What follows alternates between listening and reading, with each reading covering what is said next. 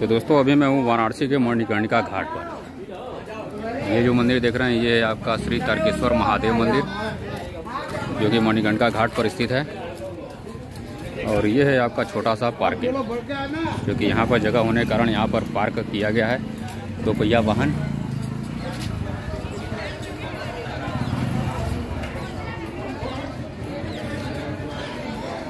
तो चलिए आगे बढ़ते हैं।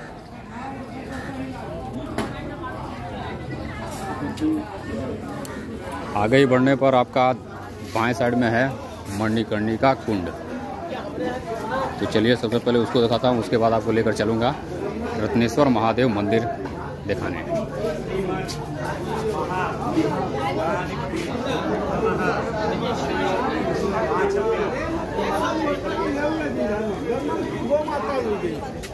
अब जानते हैं जानते हैं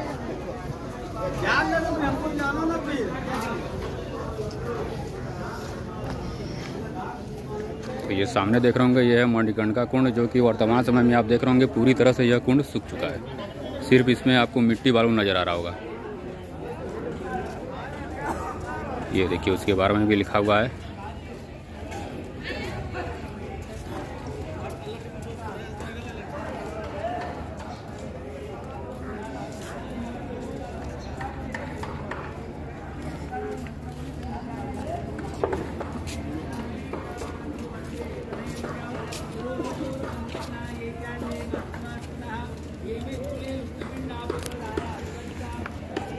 जो सामने देख रहे हैं, ये है आपका रत्नेश्वर महादेव मंदिर, जो कि आप देख रहे होंगे दाहिने साइड का झुका हुआ है।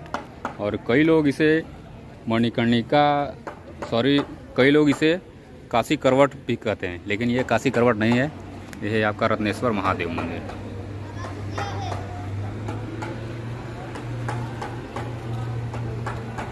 ये देख रहे हैं, अभी वर्तमान समय में देखा जाए तो आधा मंदिर यह पानी में डूबा हुआ है।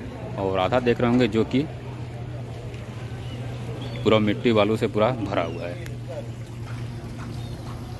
ये देखिए नज़ारा कुछ इस प्रकार है। आप देख रहे होंगे जो कि पत्थरों को तराश कर बहुत ही खूबसूरत आप देख रहे होंगे जो कि नक्काशी बनाया गया है।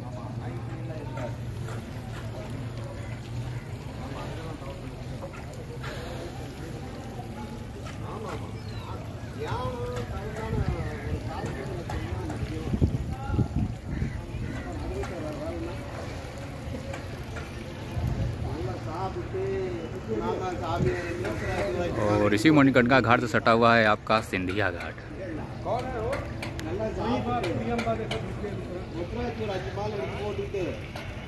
के ऊपर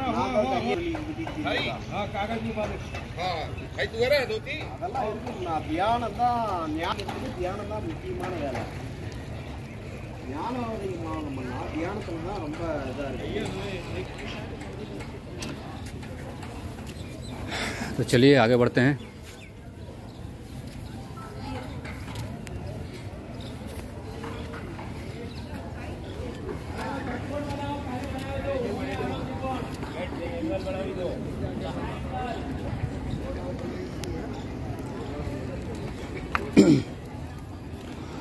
और दोस्तों, आपको बता दें कि अगर आप वाराणसी के जो बाढ़ का आप नज़ारा देखे होंगे, और बाढ़ में जो मंदिर डूबा रहता है यह यही मंदिर है, जो उसका छोटा सा शिखर दिखाया जाता है कि पूरा वाराणसी का यानी घाट डूब चुका है। तो यही है आपका श्री दत्तात्रेय पादुका मंदिर। ये देखिए, लिखा हुआ है, और आपको इसका शिखर भी दिखा देते हैं।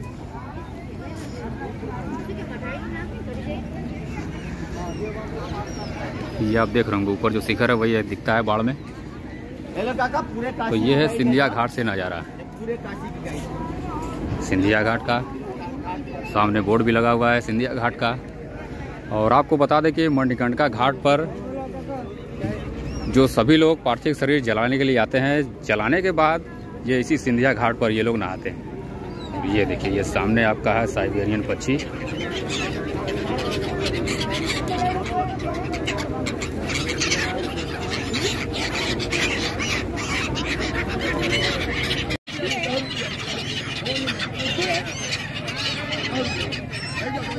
देख रहे हैं, सिंधिया घाट से बहुत ही खूबसूरत नज़ारा। सामने आपका साइबेरियन पक्षी सीढ़ी पर बैठा हुआ है।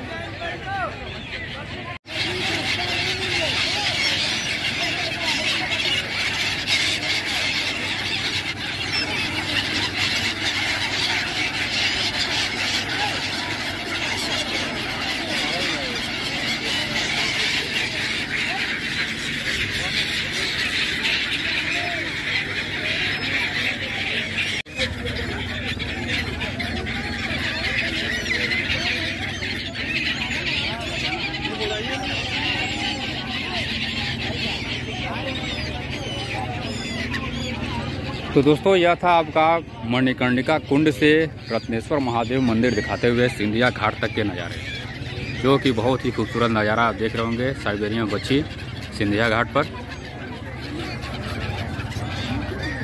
ये देख रहे ये सब नज़ारा आपको वाराणसी के घाट पर ही और ठंड के समय में देखने को मिलेगा, साइबेरियन पक्षी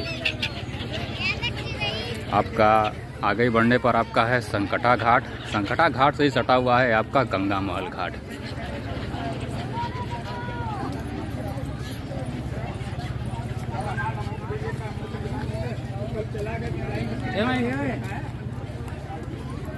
हमके बताए चाहे ना भैया लाइन बत्ती नहीं का सही भल दिनवा में का नहीं लाइन बत्ती याद है तो चलिए आगे बढ़ते हैं।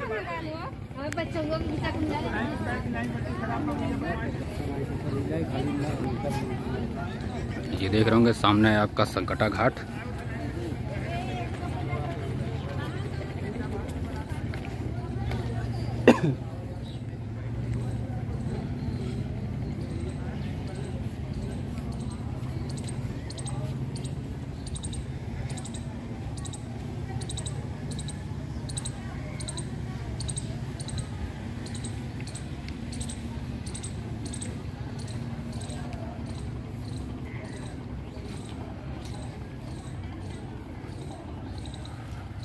और ये है आपका गंगा महल घाट।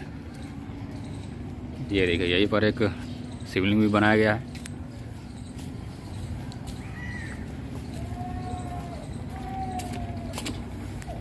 चलिए, उसको भी दिखाने की कोशिश करते हैं।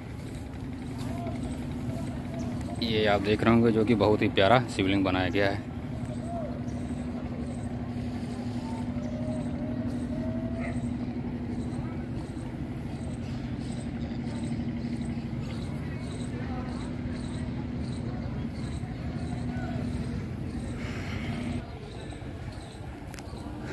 तो चलिए आगे बढ़ते हैं।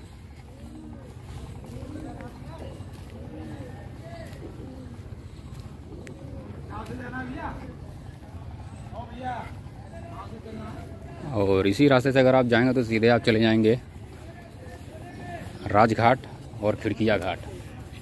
वही खड़ा रहो दोनों और आगे बढ़ने पर आपका आ जाता है भोसले घाट तो ये देखिए आप देख रहे होंगे जो कि बोर्ड भी लगा हुआ है।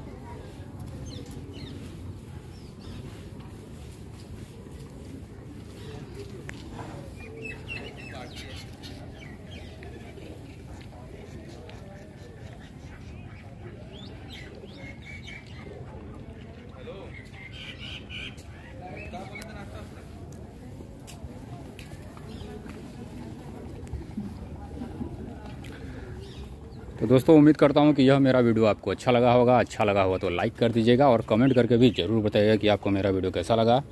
और जो दोस्त मेरे चैनल बनारसी यूट्यूबर पर नए हैं, उन्होंने मेरा चैनल बनारसी यूट्यूबर अभी तक सब्सक्राइब नहीं किया तो सब्सक्राइब कर लीजिएगा।